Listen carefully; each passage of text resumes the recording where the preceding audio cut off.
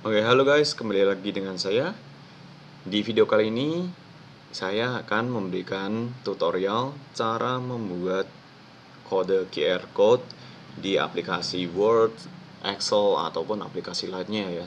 Seperti juga di PowerPoint juga bisa dipakai. Oke, jadi langsung aja ya guys. Oke, di Word ini, seperti yang bisa kalian lihat, kita akan membuat kode QR code seperti ini guys. Ini nama barangnya, kode barang, harga, dan juga QR code punya ya. Nah untuk membuat ini gimana ini mudah guys? Ini kita hilangin dulu ya. Oke di sini kalian langsung aja ke bagian insert punya guys.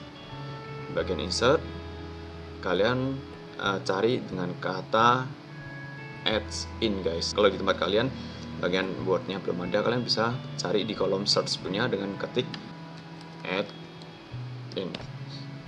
Ini guys. Kalian tinggal klik aja. Oke setelah seperti ini langsung ke bagian store punya. Klik.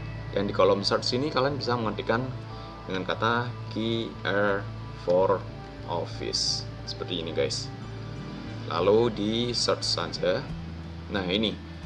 Kalian tinggal tambah aja langsung dengan klik yang tombol tambah ini ya. Lalu pilih bagian OK ah, sorry maksud saya yang continue punya. Tunggu sampai kolom QR office nya muncul di bagian kanan sini guys. Nah setelah seperti ini langkah selanjutnya yaitu kalian tinggal copy aja kode barang kalian. Bisa di CTRL dan C ya. Lalu di bagian QR for office ini kalian bisa ubahnya ke bagian custom punya guys.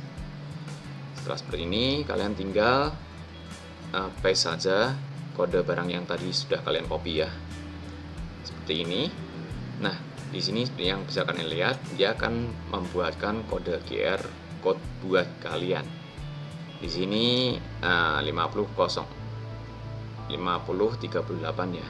Di sini juga 50 38 berarti sudah terbuat ya QR code nya nah untuk optionnya punya ini tuh warna dari QR code yang akan kalian pakai defaultnya itu hitam. Tapi kalian bisa mengubahnya sesuai dengan keinginan kalian guys. Di sini saya akan memakai yang hitam aja karena ini hanya sebagai tutorial aja. Dan ini adalah backgroundnya yang berwarna putih ya. Jadi ini warnanya putih backgroundnya di sini. Nah untuk size nya ini terserah kalian guys. Kalian bisa memperbesar ataupun memperkecil. Ke kanan berarti ukurannya tambah besar ya. Tapi kalau ke kiri berarti akan mengecil seperti ini Nah, kita perbesar dulu aja seperti ini ya. Nah, untuk error correctionnya ini saya biasanya um, pilih yang bagian 15% ini. Jadi saya nggak otak-atik lagi. Kalian bisa ke low, kuartal ataupun yang tinggi punya. Terserah kalian. Kalau di sini pakai yang medium aja udah oke. Okay. Setelah seperti itu, kalian tinggal pilih yang insert aja. Kalian klik, maka akan tercetak ya kode QR code yang barusan kalian buat ini di bagian uh, baris QR code punya. Nah, di sini kalian bisa juga mengatur size-nya ya. Bisa diperbesar gini atau dilebarin atau kembali atau mau dikecilin juga oke. Okay. Boleh uh, tergantung dengan keinginan kalian gitu guys. Cara seperti ini juga bisa uh, kalian pakai di kolom Excel punya guys.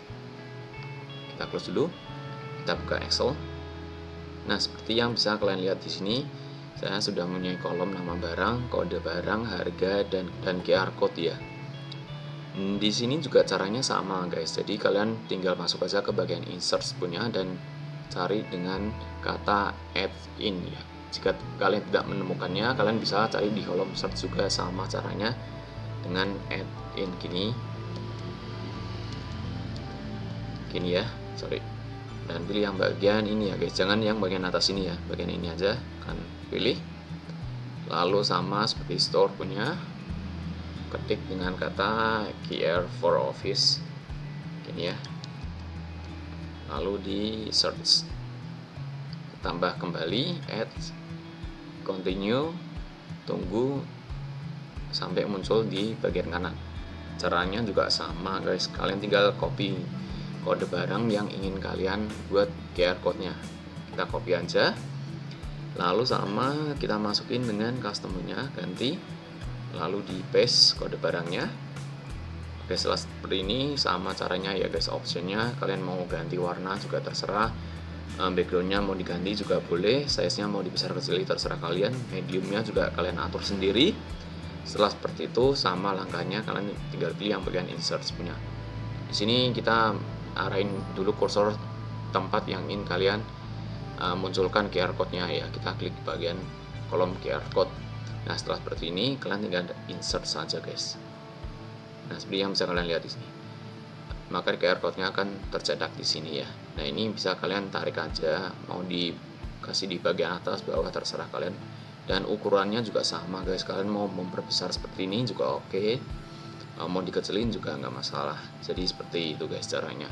Dan ini pun juga sama, kalian bisa menggunakan cara seperti ini di uh, aplikasi PowerPoint ya guys. Jadi sangat mudah sekali untuk membuat QR code untuk kode barang ataupun untuk sesuatu yang lain ya. Nggak harus kode barang guys. Jadi seperti itu. Oke sekian dulu guys tutorial dari saya. Sampai ketemu lagi di video selanjutnya